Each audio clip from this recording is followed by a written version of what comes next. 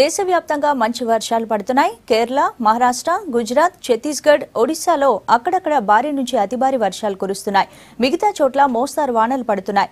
కేరళలో వర్షాలు తీవ్రంగా ఉండడంతో స్కూళ్ళు కాలేజీలకు సెలవు ఇచ్చారు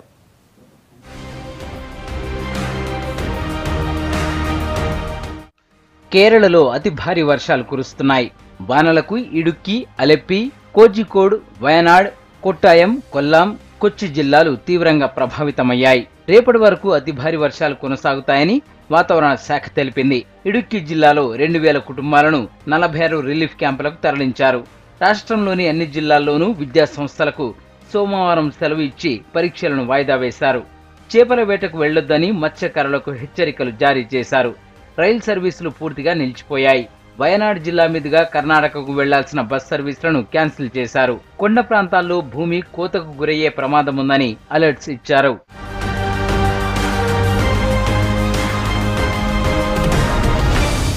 అల్పపీడన ప్రభావంతో ఒడిశాను వర్షాలు ముంచెత్తాయి. అతి భారీ వర్షాలకు రాజధాని భువనేశ్వర్ తడిసి ముద్దవుతోంది. ఇళ్ళల్లోకి నీరు చేరింది. రోడ్లు నదుల్లా పొంగుతున్నాయి. భువనేశ్వర్లోని ఓ రెసిడెన్షియల్ ఏరియాలో చిక్కుకున్న యువకులను అగ్నిమాపక శాఖ అధికారులు రక్షించారు.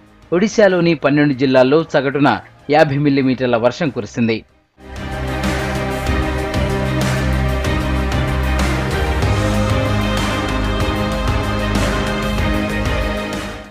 ఢిల్లీలో నిన్న మధ్యాహ్నం నుంచి సాయంత్రం వరకు భారీ వర్షం కురిసింది.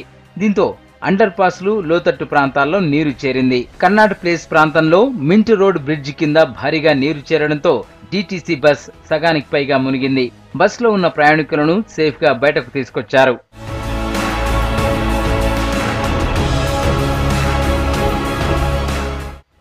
గుజరాత్లో వర్షాలు దంచుకొడుతున్నాయి. సూరత్ భావనగర్ నవ్సరి వల్సాడ్ జునాగఢ్ గిరి సోమనాథ్ జిల్లాల్లో భారీ నుంచి అతి భారీ వర్షాలు పడుతున్నాయి. చాలా గ్రామాలు పట్టణాల్లో వరద పరిస్థితులు ఏర్పడ్డాయి. నూట నలభై నాలుగు గ్రామాలకు రాకపోకలు నిలిచిపోయాయి. యాభై వేల మందిని సురక్షిత ప్రాంతాలకు తరలించారు. ఎన్డీఆర్ఎఫ్ ఎస్డీఆర్ఎఫ్ సిబ్బంది సహాయక చర్యల్లో పాల్గొంటున్నాయి.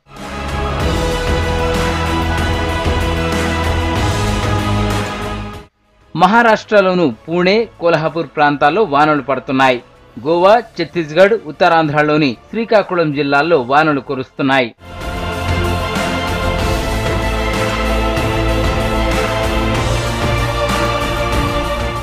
హిల్ స్టేట్స్ హిమాచల్ ప్రదేశ్లో వర్షాలు ఎడతెరిపి లేకుండా కురుస్తున్నాయి. దీంతో కొండ చర్యలు విరిగిపడి national highway twenty one block అయింది. రాకపోకలు బంద్ అయ్యాయి. దీంతో ప్రయాణికులు తీవ్ర ఇబ్బందులు పడుతున్నారు.